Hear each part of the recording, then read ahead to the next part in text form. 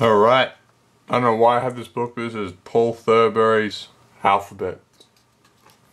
So, here we go. A is for awesome. Um, as you can see, the artist here has used like exclamation type marks around here to give like a vibrant type of feel and whatnot. And then it's got like, I don't know why they've got this, like a little mwah, like Italian sign. I haven't quite worked out. Yeah, and it's got like stars and shit and the kid's happy. Um, B is for bounce. So like, I was like bouncy balls and stuff like that. But the thing I can't work out, I reckon this guy's done a bit of plagiarism because if I get my Nike Air Force Ones here, and look at the back, look. So obviously this means Nike Air Force One. So yeah, kind of caught him out there. Um, C, um, uh, is for catch. Now I, I got a bit confused because I saw a soccer ball straight away and if you play soccer, first rule you know is you're not allowed to like touch the ball with your hands unless you're a goalkeeper and then I forgave him because there's a net here. So hence that must be the goalkeeper's hands. So um that's all good. Okay, now we're up to D and um it's dog. Um not more about dog. Um, pretty good actually, I don't mind it. Um, it looks a bit fat, to be honest. Um, kind of um, got some biscuits here, maybe you should not give it to him. Um, and then you got two um, homosexual E's doing like, I don't know, the standing wall position. And um, they seem quite happy. And um, yeah, that's their thing, that's good, good, good on them. Um, uh, F is for fierce. Um, obviously it's like a line but um, I think the artist hasn't quite really delivered the message strongly enough. Um, this didn't look like a mane to me. This didn't look like a lion's mane to me. This looked like um, like red rooster, like a rooster's mane, if that's what it's called, a rooster's mane. And, um, that doesn't quite work, so I have to give a pass on that page. Um, G um, is for graffiti. I also use the four because like you know it's slang and it's like very um hip hop so to speak. And um, as you can see, Paul's like tagged his name here and here. Um, I guess in his youth he was a bit of a a tagger if you say that and like you know most taggers when they get turned like 30 um, you know they got like got to have like kids and you know pay for school children and whatnot you know they have to like go legit hence make a children's book um, but you know got like a rat here obviously that represents Banksy so what Paul could have been.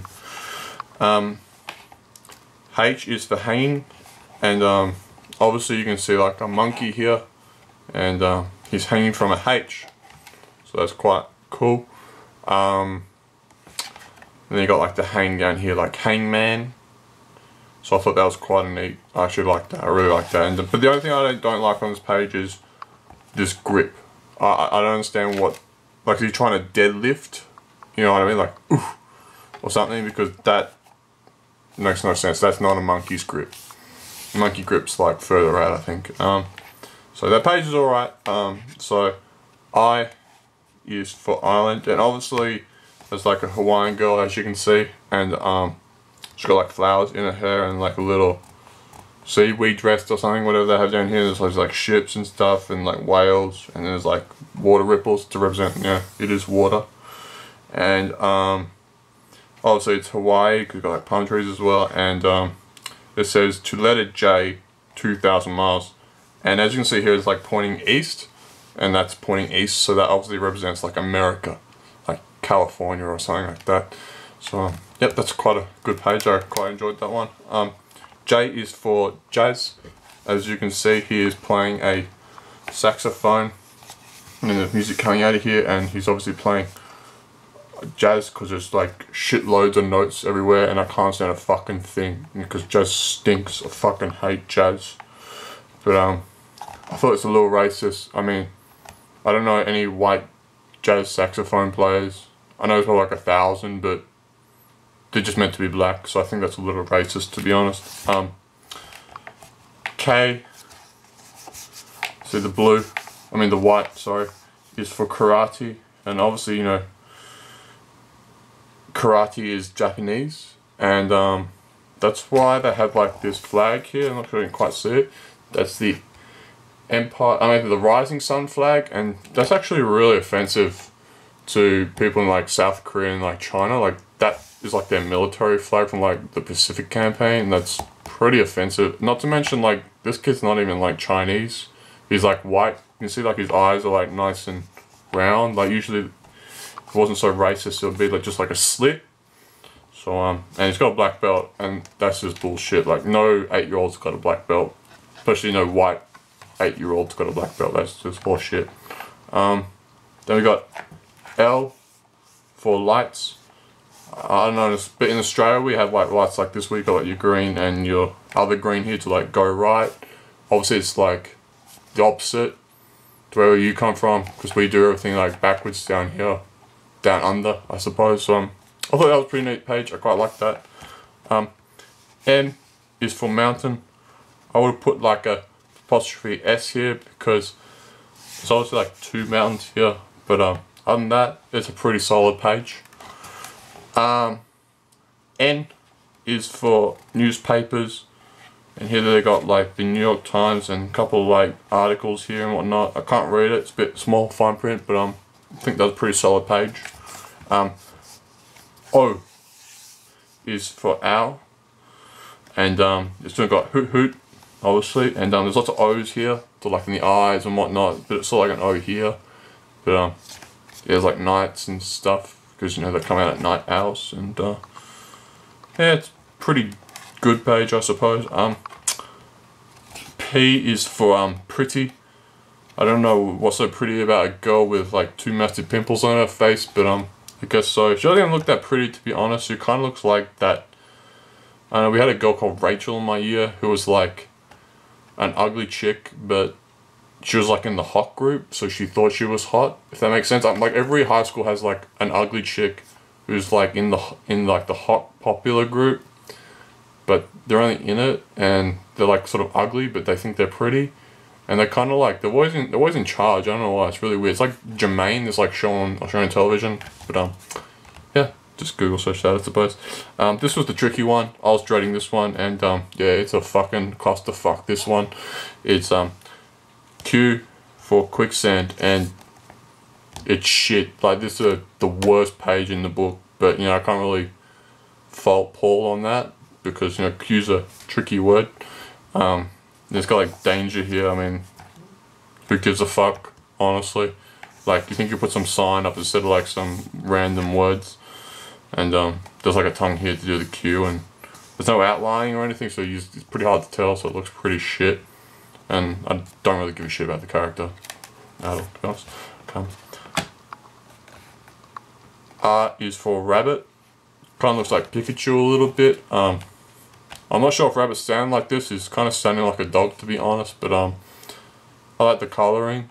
I think the yellow is a good effect on the black, and um, it's got a cute little thing here, like the Playboy bunny chicks have, like the little tail thing. That's kind of cool. Uh, S is for space, and um, I don't know why it's got a gun in space. To be honest, like a little ray gun, but um, maybe it's gonna kill that bunny later. I don't know if it comes into space range. But um, obviously this is obviously like the um, International Space Station. So a bit, bit weird shape, but yeah, has to be an S. So um, yep, that's alright. Um, T is for trapeze.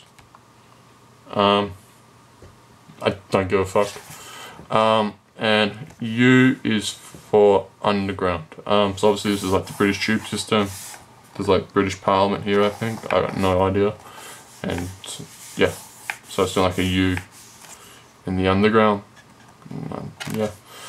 Um, v is for vicious, and as you can see here, that's done sort of like a a big vicious dog.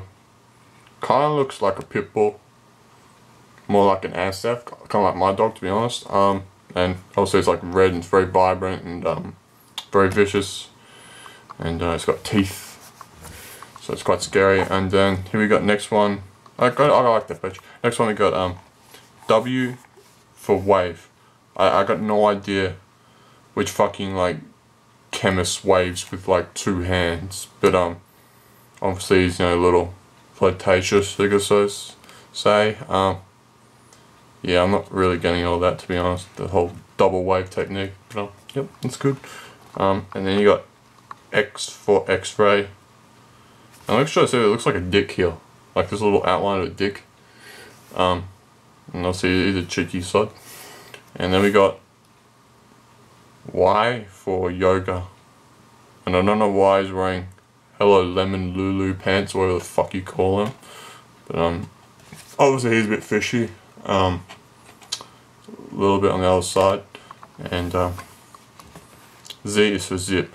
Man, these last three pages have been quite gay, haven't they? Go back, we've got like X-ray. No, wait, wait, go back even further. Sorry, four W, like the gay chemist. Like it's got double hands up. Like what's all that? Like maybe he's getting some like anal nitrate or something for you. I got no idea. And then you got like the young bottom, like the X guy, and then you got like this weird, this weird pedophile type creep who's wearing like the yoga pants and shit. And then you got like a zip. So I'm not quite sure what's going on in this guy's head. Um, I thought that was a pretty good book. Picked up for about twenty dollars at a bookstore. That fat. Um, and that's um, Paul Thurlby um, and his alphabet. Thanks for watching.